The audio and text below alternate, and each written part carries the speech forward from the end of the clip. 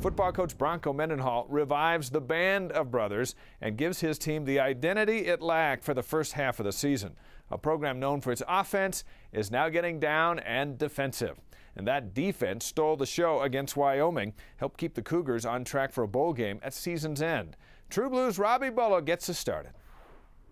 BYU hoped to get back on the path towards bowl eligibility on a rainy Saturday hosting the Wyoming Cowboys, who had lost seven straight to the Cougars. We felt like this this is a this is a game that we need to we need to take into our own hands and, and uh, and make sure that uh, we get this one. BYU got it done on the ground on its opening possession, running the ball on eight of the 10 plays in the drive, and opened with a touchdown for the second straight time at home. Trying to stretch it and get the edge. He does get it turned. Feeding everybody to the corner. It's a touchdown. The defense didn't want to feel left out and also scored points in its initial appearance. Forced to kick it out the back. Two points for BYU. Wyoming had negative 22 yards of offense after its first two drives, and Austin McCoy's low punt hit his own teammate, giving the Cougars the ball at the 33-yard line. Bryan Kariya strolled into the end zone easily, giving BYU a 16-0 lead just over 10 minutes into the game.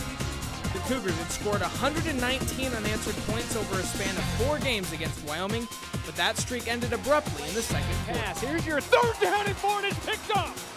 Intercepted by Keith Lewis, the Leo linebacker, has one guy to beat. Touchdown, Wyoming!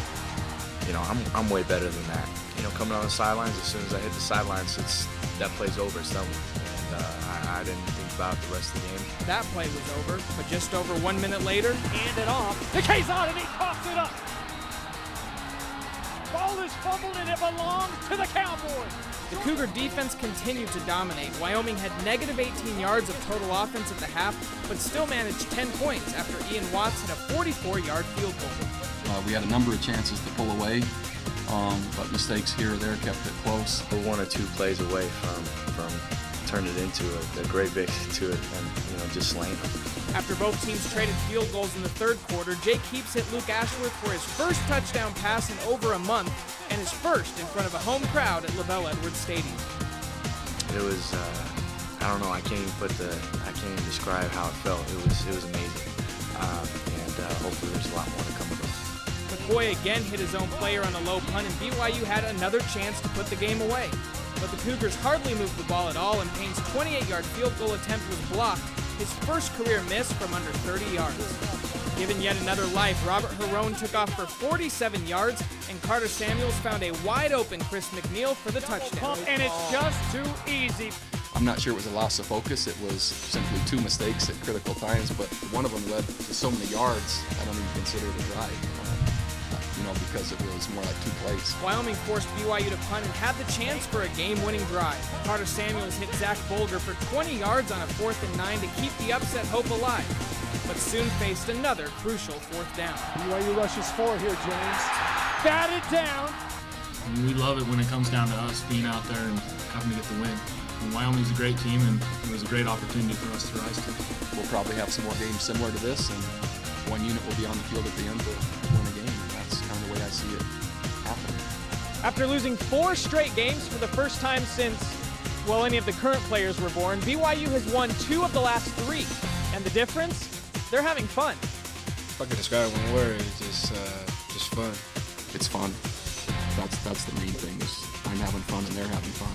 We're just going back to having fun. This is football, and that's what it should be. It should be fun, and, but really, it's only fun if you're winning. Robbie's in studio with us. It's a win, and and that was fun. guys like winning despite BYU's greatest efforts, they won that game. I mean, seriously, with all the mistakes they made, you thought, you know, they're just giving this to Wyoming, but still came away with the victory. I thought uh, Jake Heaps played a little bit better at times. It was nice to see him throw a touchdown pass, but you look at those stats and you see 81 total passing yards against the defense that's been giving up the earth, moon, and stars, and you scratch your head a little bit and you go, seemed like they could have scored a lot more. He was excited over 300 minutes since he'd thrown a touchdown pass, never done it in front of a home crowd. So finally, they got to see something that they wanted. The 60,000 people that showed up in the rain to watch two two and five teams, they got to see something. And he said after that interception, you know, I'm better than this.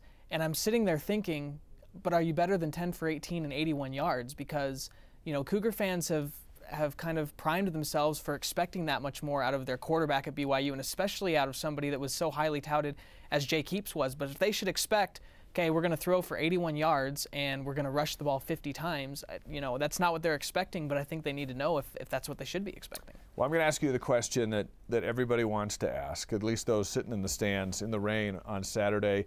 Um, is Bronco going to try any of the other guys under any set of circumstances? I don't think so. The last few games where I've, I've thought, you know, this has been the opportunity for Jake Heaps to open up once you get into kind of the easier schedule, and we haven't really seen that happen. But Bronco's still saying, you know, we're, we're seeing progress, we're seeing improvement. He's still very happy with the job that Robert Anae and the offense is doing, so I don't see him making any change. He's, he likes the direction it's going, albeit slowly going that way. Well, the team picked up a win, and they had to win, so they did what they had to do. And Bronco said that afterwards, hey, you know, we had to win, and, and they did that.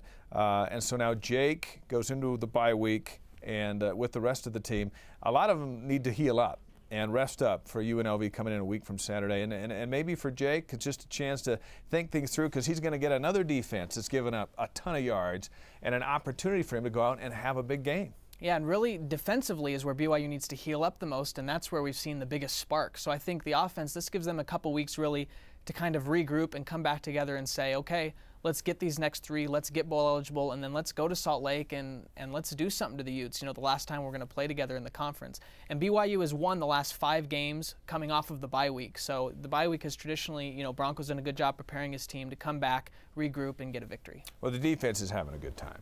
And, and they were fun to watch under those circumstances where it's wet and it's muddy and a chance to get in and get dirty and uh, and then they saved the day at the, at the end of the ballgame. Yeah, and Bronco said he thinks that's how all the games are going to be. It's going to come down to whichever unit is on the field at the end of the game is going to have to make the plays to win it. And all three of BYU's wins this year Washington, San Diego State, and now Wyoming in all three cases, the defense has been the one on the field that have had to make the plays. Two times, you know, they've batted down a fourth down pass, and then against San Diego State, forced that three and out. But it's been the defense that has won the games for them. All right, Robbie, thank you.